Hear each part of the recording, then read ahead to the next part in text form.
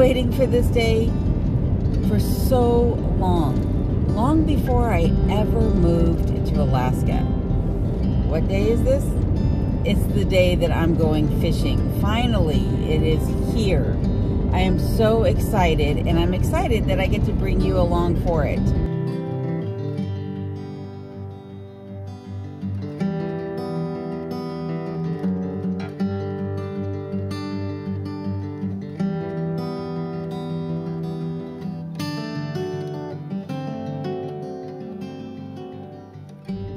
Exactly sure why I didn't go last year. Maybe because there was so much going on and over the summer that I just didn't take the opportunity.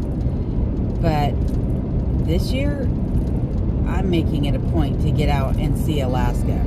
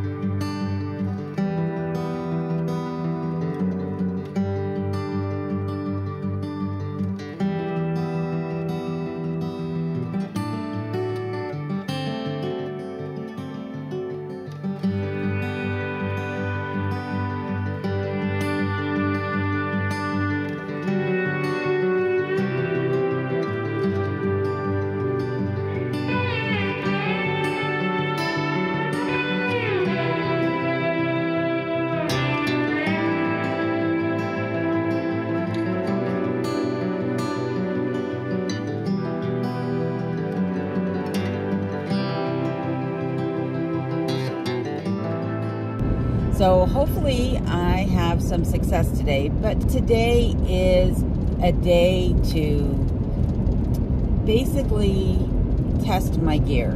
My gear has been in storage since I moved to Alaska. I haven't touched it, looked at it, done anything with it until this week. And it needs a lot of work. And so I'm heading up to Seven Mile Lake off of the Denali Highway.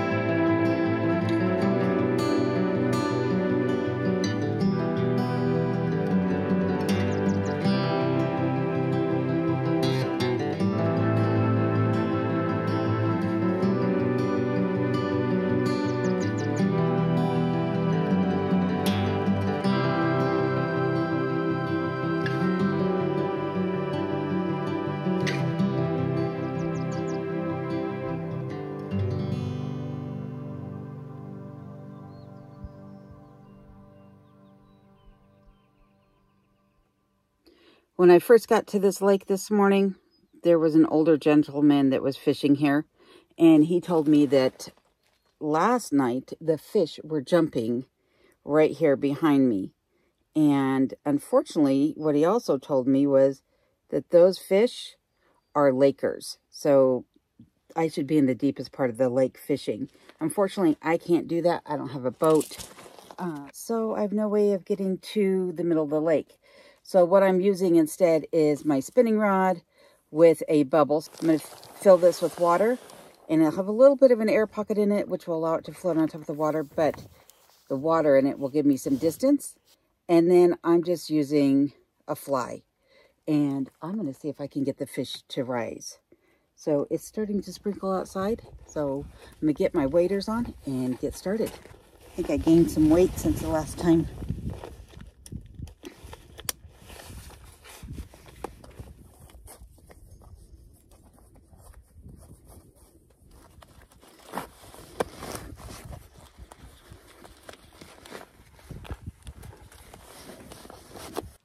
All right, wish me luck.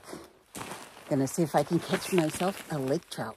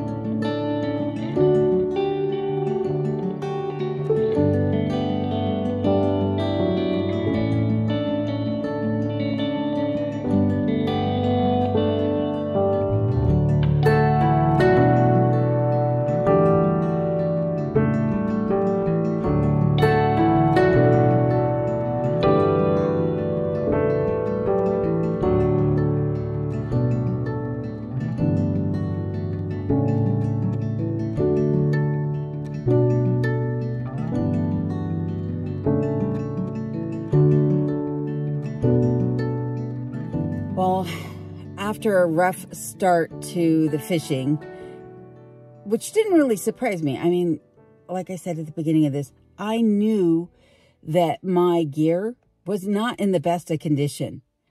But it turns out it may be in worse condition than I thought. And also, I'm really out of practice. I haven't fished in about two years, and I'm all self-taught. Everything I know about fishing other than the little trick I showed you about using the bubble and the fly, I learned on my own.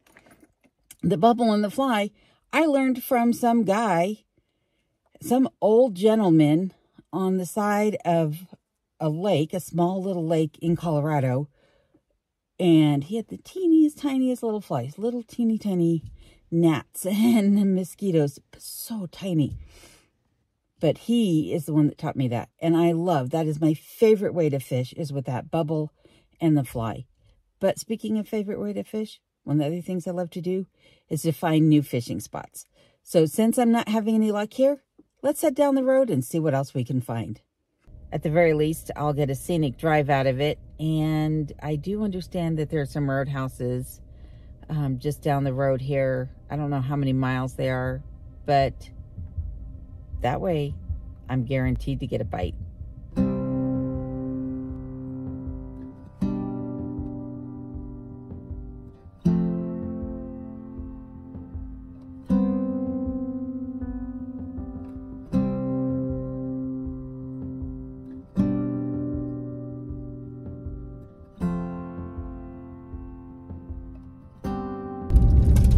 It is absolutely gorgeous back here.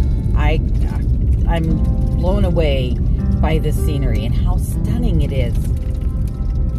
I wish I could get all of it on camera and show you the entire road, but this video would be extremely long if I did that. So hope you're enjoying the little bits that I am showing though.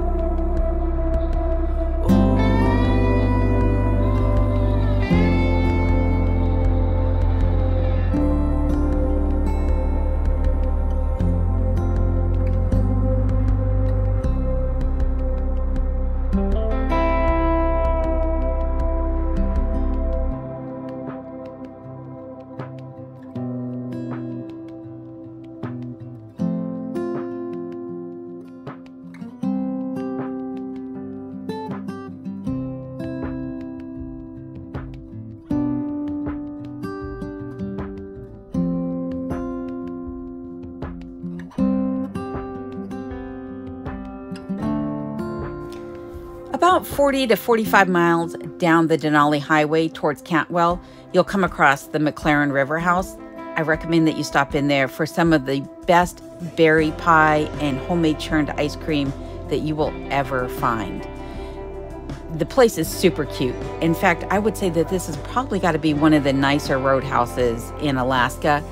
If ever I was traveling through here and wanted to stay the night, I would book a room here for sure.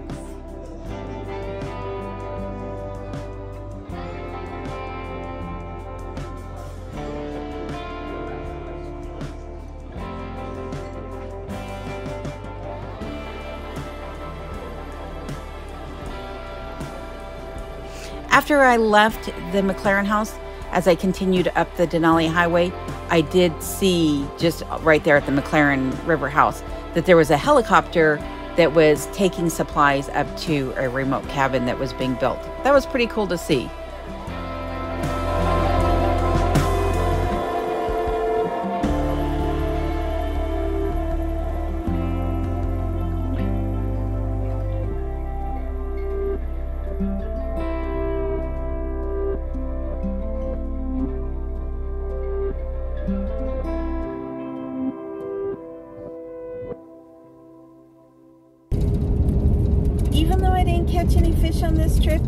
I would say this trip was actually a success because it helped me to identify where I need to improve my equipment. My equipment had been in storage since before I moved to Alaska, and so it has seen better days. The other thing is is that I might not be using the right equipment. I also need to do a little bit of practice on my fly fishing, being self-taught, I guarantee you that I never learned the proper way. I know in my head what it's supposed to be, but in reality, it comes across totally different.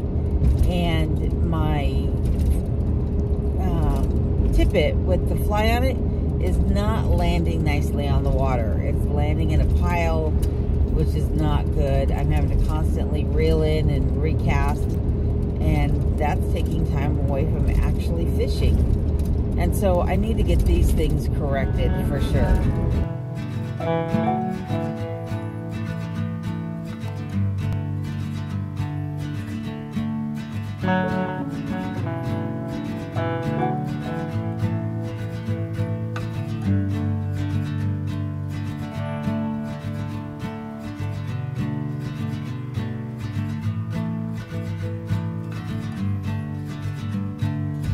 Well, I did see some spots that I could fish at, but it's getting late in the day. And so I think I'm going to head back to the cabin because as you've noticed, I don't have Kenai with me. And so I need to go tend to him. I will be doing a lot more fishing this summer. And I'm sure that on some of my upcoming trips, I'm guaranteed to get some fish. Uh, one is I have chartered a fishing boat down on the Kenai Peninsula. I'll also be doing some dip netting on the Copper River and some other fishing around uh, various places here in Alaska. But I hope you enjoyed today's video. Please subscribe so that you don't miss any of my adventures. And remember to turn on that bell notification. Oh, and while you're doing that, remember to hit that like button too. And until next time, please stay safe and take care. And again, thanks for joining me on today's adventure.